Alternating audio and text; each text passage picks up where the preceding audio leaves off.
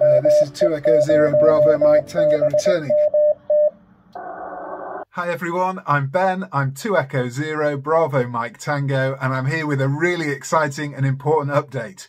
I'm delighted to say that today I passed my examination for the full RSGB license, which means that in about a week's time, I'll no longer be 2 Echo Zero Bravo Mike Tango. I'll be Mike Zero something, something, something to be decided. Haven't had a look yet to see what might be available. And I'm just so excited about it that I wanted to tell someone. So I thought you should be the first to know and to say I've passed my exam and I'm delighted that I will be a full amateur radio license holder from just a few days time.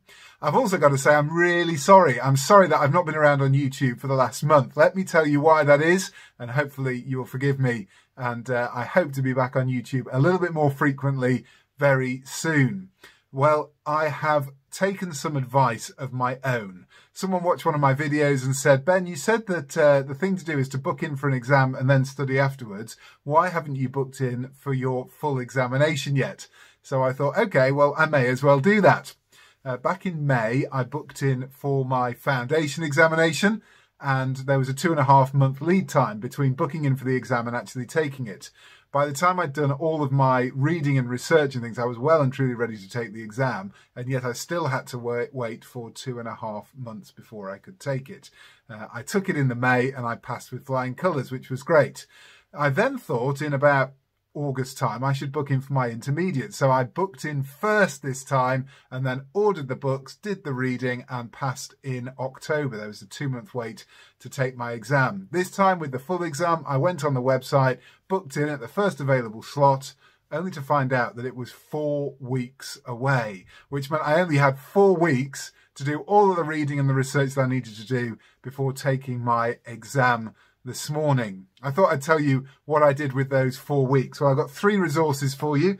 Uh, this is the first one, no surprise. This is the manual for the full license available from the RSGB. Uh, it's quite an in-depth read. It took me quite a long time to read, although it's only 100 pages and it's set out well, lots of pictures, lots of images in there uh, yet still it's quite in depth um, and my little head hurt reading this but I sort of churned through this. It took me about two weeks to read this and really understand it. And as I went through I made some flashcards. Let me show you them. They're just here. And uh, yeah on each flashcard I sort of had a different things written on the front and then a bit of an explanation on the back including all of the different uh, bits of the the course and chapters and all of the um, many many many many formulas that you need to learn and well you don't need to learn them because you're given them but you need to learn what they actually do so I made some flashcards as I went so that hopefully I'll be able to revise and remember things Secondly, no surprises. This is the other book that goes with it, Exam Secrets. This is for all three levels and there's uh, practice questions in there and also practice papers at the end of the book. So I got myself a copy of this for the intermediate, uh, but of course it also had all the stuff in there for the full as well. And after I read one chapter from this book, I then did the questions to test myself from this book and then saw if I had any gaps in my learning. So that was two resources. The next resource I had was this from my friend Steve, Mike Zero November Mike Alpha. He'd been on a course for his full license. Well, it was actually the advanced license when he took it a few years ago. And he gave me his course notes. So I was able to look through there and compare his course notes with that which I'd been looking at in the syllabus itself. And then the last thing, because I'm quite a visual learner and I like to watch things on YouTube, I was tremendously grateful for the Cornish Amateur Radio Club, who have put on really comprehensive training notes for foundation, intermediate, and full. I've used them all the way along, and uh, although it was the advanced rather than the full license, there was a syllabus change in 2019. 90% uh, of it's the same, so it was really helpful to have that sort of visually displayed for me as I learned from the Cornish Amateur Radio Club. So thank you so much to them as well. And with those four resources, I was able to do all of the training I needed. On the RSGB's website, you'll find a couple of mock examinations. I did my first mock examination two weeks ago, my second mock examination a week ago, and my third mock examination about four days ago. And uh, I saw my scores go from about 60% to about 70% to about 80%. So I knew I was heading in the right direction and uh, was getting there.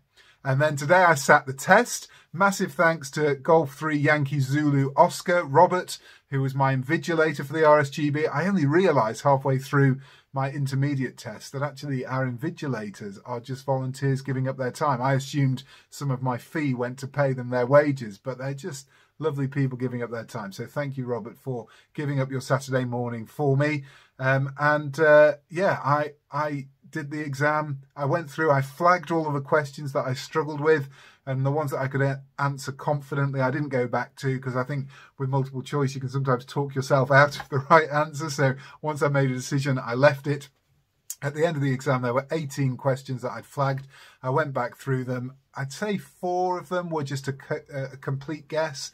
I had no idea what to do, so I just guessed one of them and uh, my final score was 46 out of 58, which isn't a blinder. I got full marks in the foundation. I only lost one mark in the intermediate, but frankly, because I only had four weeks to revise, which was my own fault. I wasn't quite as ready as I'd like to have been, but still, 80%, not a bad final score. As a result, I've treated myself to a new radio because, of course, what, what do we need is another radio. It doesn't matter how many you've got, you probably just need one or two more. So I've treated myself to an FT3D, which will be arriving at some point in the next week or so. And I look forward to showing you around that radio and taking it out for a couple of tests. So do join me here on my YouTube channel. Do like and subscribe and uh, watch out about this time next week. Hopefully I'll be announcing what my new call sign will be. But until then, I am still Ben. I'm 2 Echo 0 Bravo Mike Tango off and clear. 7-3. Uh, this is 2 Echo 0 Bravo Mike Tango returning.